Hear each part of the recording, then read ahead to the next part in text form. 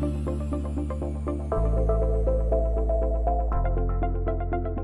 are very aware that we're running very behind and we're the last thing standing between you and some cocktails. So without any further ado, I'd like to welcome Honorable, Honorable Soraya Hakuziyaremye, um, who's our Deputy Governor for the National Bank of Rwanda, who will be giving um, this event's closing keynote. A warm round of applause for her.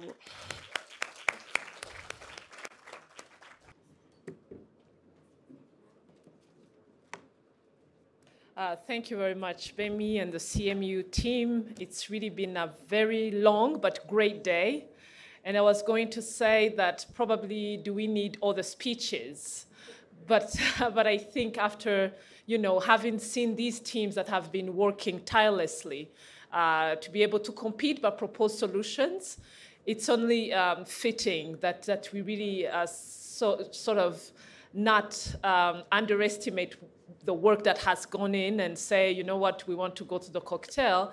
But I wanted to take this time to share a few words on what this uh, first ever CMU Entrepreneurship uh, Forum means. Um, and, and, and really, first of all, all protocols observed, um, wanted to really, one, convey the congratulations to the CMU Africa uh, management leadership uh, director, executive director, for such a successful forum.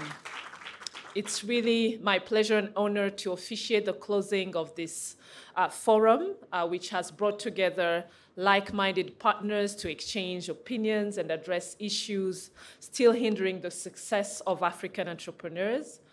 But the forum was not only about addressing issues, it also offered avenues of opportunities uh, for African entrepreneurs, for all partners in the African entrepreneurship ecosystem to flourish, as well as forge connections that will lead to business success. And I don't want to deal too much into this forum's themes. We've had sessions that did just that, but wanted first and foremost um, to thank the teams that have competed in addressing these global challenges. Um, it was um, an undertaking, and as uh, the different judges have said, these are really challenges that all organizations, all leaders are grappling with. But it's good to see that the young generations of Africans have a great understanding of the issues at hand, are willing to take on those challenges. And as um, stakeholders being government, um, financial industry, academia, business advisors, it is really our duty to make sure that we support them as much as possible. And like the saying goes, when creative minds come together, they can make the impossible possible and the ordinary extraordinary. And the mere fact that you thought at CMU Africa of birthing an annual entrepreneurship forum, this is proof enough that Rwanda, but also Africa, is hungry to grow this entrepreneurship space. And with such zeal, rest assured that we will find solutions within ourselves, given the networks that we create, the knowledge that we exchange and share. The CMU Africa Entrepreneurship 2022 could not have come at a better time. We are currently trying to mitigate challenges that were brought about at the COVID 19 pandemic. But through that, when we thought we were out of the wood, external shocks and conflicts continue to affect the economy and therefore the entrepreneurship ecosystem. And the fact that the world is currently grappling with the cost of living crisis, where inflation is reducing purchasing power of households, where financing is becoming more costly, that's a situation that can seem very daunting for entrepreneurs. And connecting Africa's entrepreneurship ecosystem, indeed, the success of entrepreneurship is not dependent solely on one entrepreneur or entrepreneurs. It depends on the creation and development of strong entrepreneurial ecosystem that are responsive to the needs of the entrepreneurs and of which collaboration and partnership are key pillars to building such ecosystems. When Silicon Valley started as an ecosystem, it was forged by individuals who were working at different semiconductor companies mainly, like minded people who gravitated into groups and frequently founded new companies. Their shared values and their visionary goal to promote the growth of the computer chip industry in Northern California. But the bonds between all these specialists grew and solidified and this self-supporting system would ultimately evolve into one of the most powerful economic engines in the United States. So one could wonder how does this relate to Rwanda and how does this relate to Africa? I would give two examples, two brilliant ideas from Rwandan entrepreneurs, the first being the AC Group. Their disruptive innovation in the transport space has changed not only the transport landscape to smart transport solutions like the tap and go that we know uh, in public transformation here in transportation here in Kigali, but this has now expanded to cities across Africa, such as Yaoundé or Accra. The second example is the one of Yvette Ishimwe, who's the founder and CEO of Iriba Water Group, a social enterprise that provides innovating drinking water solutions. She's not only on a mission to transform Rwanda and make sure that people in the rural area have access to clean water, but she wants to expand and scale that innovative solutions to the whole continent. And there are many, many more examples in our country and in Africa which give us confidence about not only the potential of our young people to innovate, to solve our society's problems, but also to make profits and be able to scale internationally.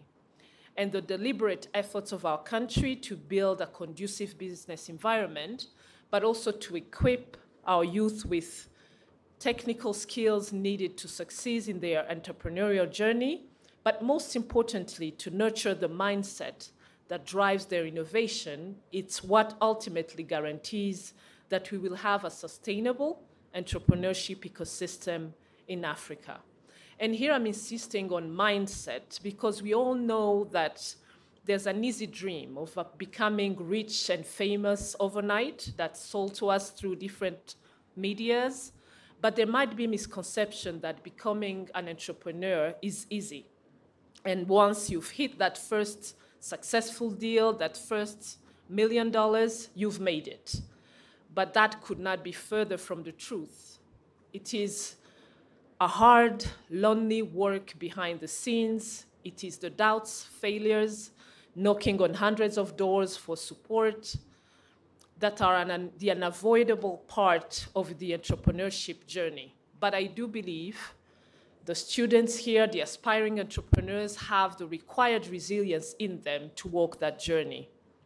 And so, building an ecosystem that facilitates collaboration and co creation of opportunities should also foster an ecosystem of shared values, a resilient mindset, which is a bedrock for supporting startup initiatives within our local communities business advisory partners, early seed investors, venture capitalists give us the best of their worlds when, as a continent, we continue to create a startup culture that embraces risk, that adopts the failing fast, and mentorship mantra, which in turn will stimulate a supportive ecosystem of entrepreneurs from the bottom up. And I will end with some statistic on the fintech industry, and I'm sorry that I have to wear my banker's hat. Uh, but in one year, of the, the 5,200 technology startup companies that were created in Africa, close to 50% of them are fintechs. And according to McKinsey, their revenues today are estimated at $6 billion. But in three years, in 2025, those revenues will grow to as much as $230 billion. That's an exponential growth, but it also shows the opportunities that we have for technology, technology startups, but also the fintech industry in particular. So the solutions that African fintechs are bringing on the market allow more people to have access to financial services We've seen the example of a solution trying to address access for insurers for farmers. But fintechs also provide microloan solutions, cheaper financial transactions, and the social benefits are immense, not to mention the economic benefits for entrepreneurs, which are equally important. And the National Bank of Rwanda, by setting up a regulatory sandbox where innovate, innovators can test their products in a regulated environment, has recognized the growing importance of innovations in the finance space, and which we know young people, such as CMU graduates, are part of. So it's our responsibility to make sure that we remain committed to working with all key stakeholders in the country to foster entrepreneurship, innovation, by opening new doors to aspiring entrepreneurs. So let me once again thank CMU Africa for organizing this entrepreneurship forum. I wish all partners building sustainable ecosystems to thrive in spite of global economic challenges, to keep the momentum in bringing the market's products, services, which contribute to the prosperity and well-being of all Africans. So I thank you all.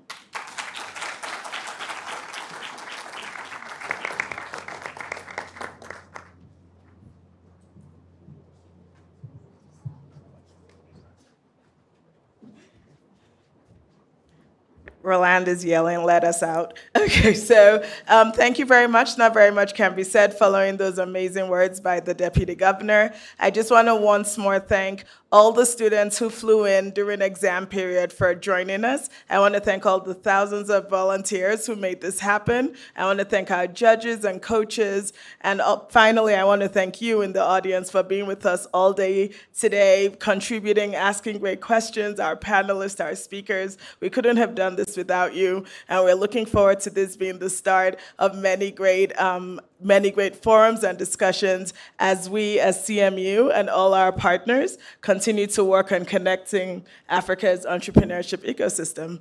And with this being said, the forum is officially over, and now we can go celebrate at the cocktail reception. Thank you again, and have a good night, everyone.